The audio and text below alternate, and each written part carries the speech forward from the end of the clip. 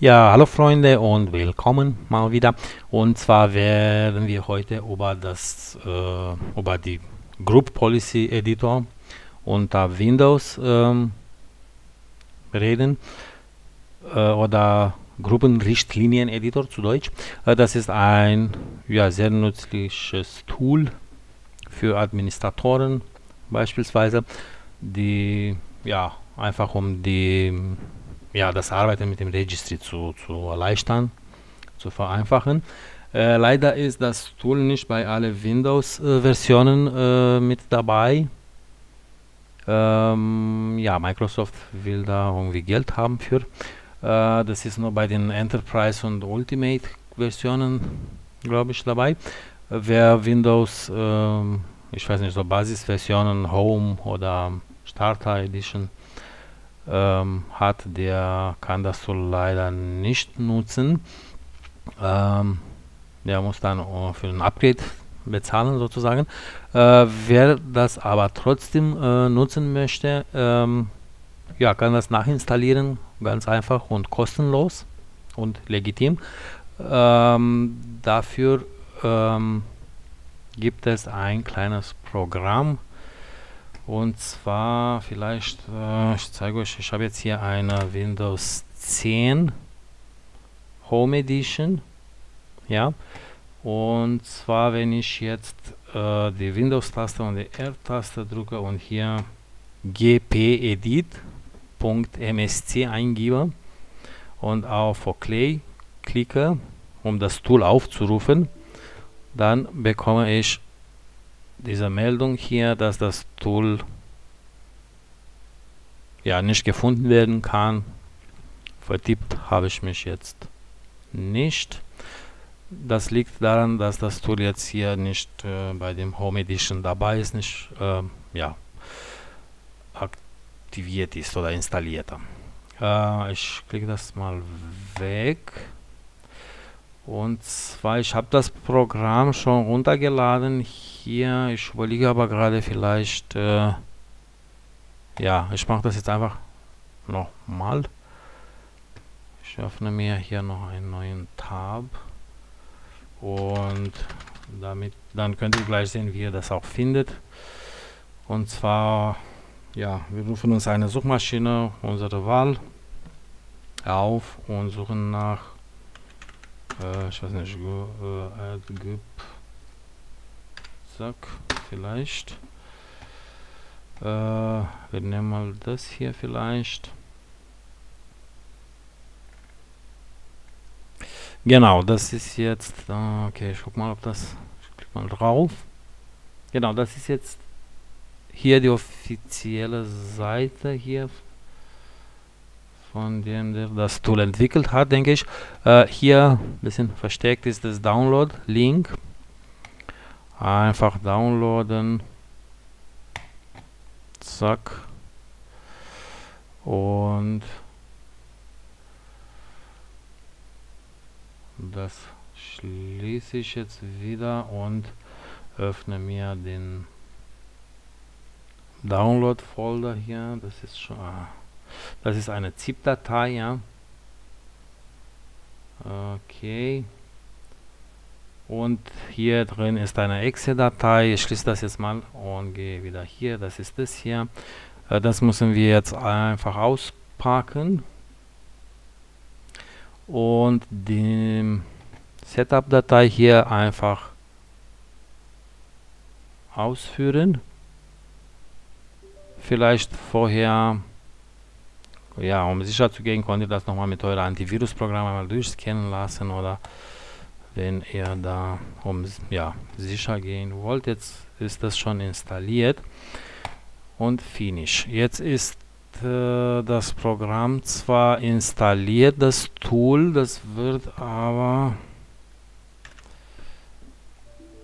immer noch nicht funktionieren. Das ist, weil wenn ich, ja, ich habe hier eine 64-Bit-Version, wie ihr hier entnehmen könnt, ja. Ich schließe das an, da müssen wir noch ein paar Sachen von A nach B kopieren. Da gehen wir jetzt auf C, oder ich mache mal so vielleicht und zwar unter den, also auf C Windows Ordner hier, wo die Systemdateien sind und hier suchen wir nach den Ordner sys irgendwas mit hier. Sys wow 64 ja. Hier rein und hier suchen wir jetzt nach zwei Ordner. Hier die beiden Ordner. Group Policy und Group Policy Users einfach kopieren. Ich überlege gerade, wir brauchen aber noch. Ich. Äh, okay, wir kopieren erstmal die beiden Ordner, wie gesagt, und gehen wieder zurück. Und zwar in den Windows-Ordner hier und jetzt kopieren wir die beiden Ordner hier in System 32 aber ich glaube die gibt es schon hier äh, die benenne ich jetzt einfach mal um damit ich sie nicht löschen und zwar ich mache mal jetzt hier original orig von original falls da irgendwas schief läuft dass ich dann die wieder einfach erstellen kann zurück so jetzt kopiere ich hier füge das hier ein die beiden Ordner aus dem syswow. Okay, sind zwar die Ordner da, aber ich glaube die Update, genau. Also wir müssen jetzt nochmal zurück äh, in den Ordner hier und dann nochmal nach der ähm, Exe-Datei hier suchen und zwar hier, das ist das hier. Äh, gp-edit. Ups, das wollte ich jetzt nicht. Die kopiere ich jetzt einfach mal hier und füge das auch hier in den System 32 ein. Zack. Continue. Okay. So, wenn ich jetzt alles richtig gemacht habe, ich schließe das mal, dann sollte das jetzt funktionieren und die Konsole sollte sich öffnen genau und schon haben wir hier das Tool und können damit wunderbar arbeiten äh, der Nachteil hier ist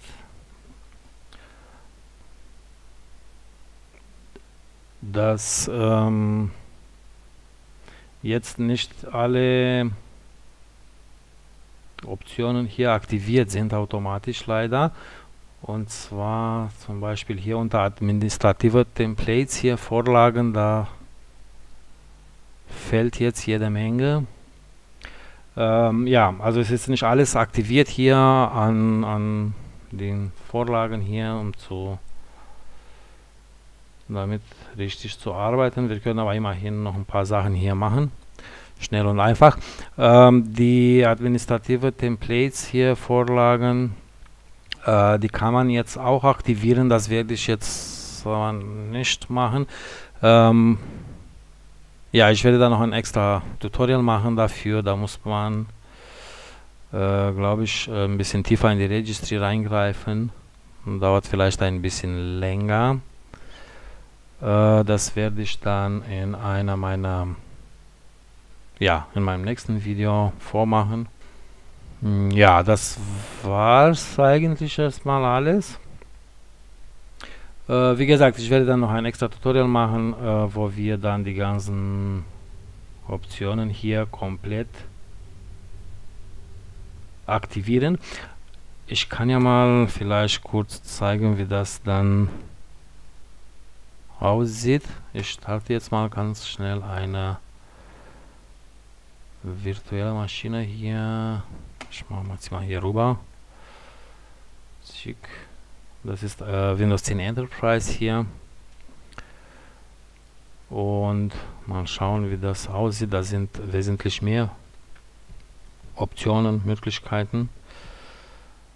Ja, äh, das Programm hier, das nennt sich, glaube ich, Dave HC oder sowas. Ja, ihr habt ja den Link. Chuck. Ja, wo ist jetzt meine So, ich melde mich jetzt mal hier schnell an.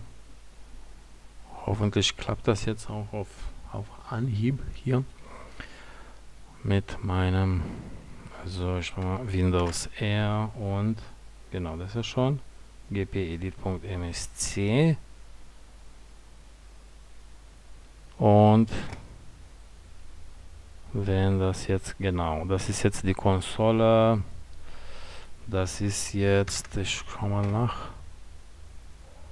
Ah, okay, das ist die Technical Preview, ist aber, äh, ja, okay. Und zwar, wenn wir jetzt hier nachschauen, dann haben wir hier unter zum Beispiel administrative Vorlagen. Äh, ich gucke mal, ups. Das ist jetzt meine Konsole hier. Okay. Ich Windows Components. Zum Beispiel.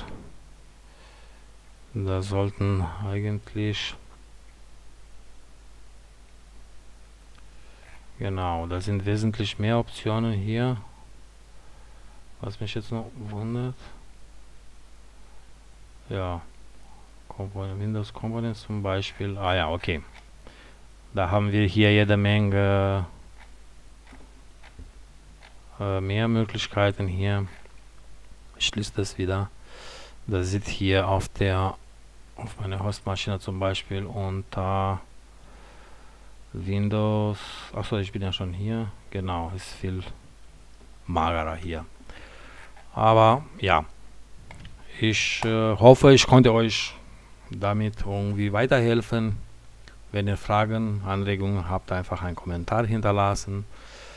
Ähm, ja, ich freue mich und bis äh, nächstes Mal.